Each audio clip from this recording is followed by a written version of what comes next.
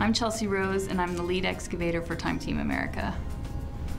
The Josiah Henson Special Park is a site where Josiah Henson lived and worked, and he was one of the inspirational characters for Uncle Tom's Cabin.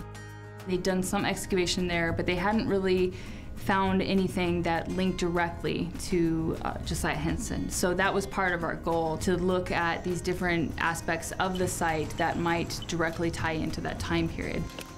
Any archaeologist can tell you, you always make the best finds at four o'clock on the last day. It just, I don't know why, it just happens that way.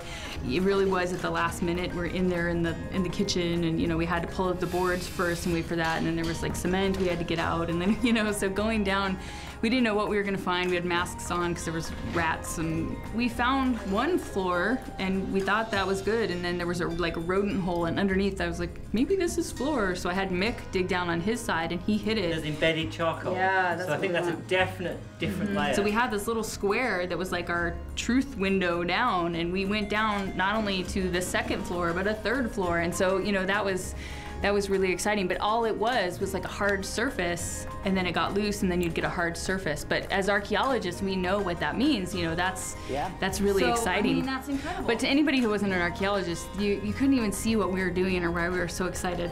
So I look up and Greg, our cameraman, is like taking a nap on a chair and Bruce is too and nobody's filming it. And I, you know, I had to be like, what are you doing? Why aren't you filming this? And and it took a convincing because they were like, well, what are you doing? There's nothing there. And I was like, the floor, the floor. but I mean, that's, that just goes to show you that uh, it, it can be really difficult to understand exactly what we're seeing. Um, when you're close to something or when you're in an area that you know there's archaeological stuff there, you're listening for sound changes of the metal on the dirt, for compression, for color changes. You know, it can be so subtle and sometimes it is not sexy. It is just a clunk when you hit your trowel, but it means something so big, you know. oh yeah. So Joe, do you see that? I do. We're there.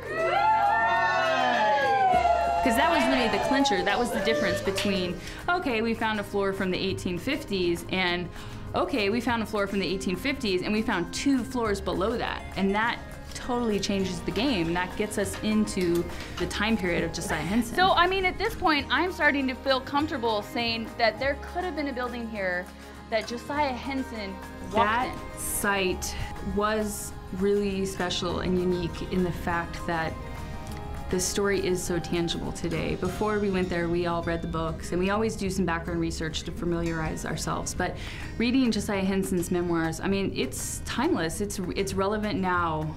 And then uncovering the floor where he could have walked, it's just we all felt really privileged to be there and to experience that and to I don't know, get to make that discovery.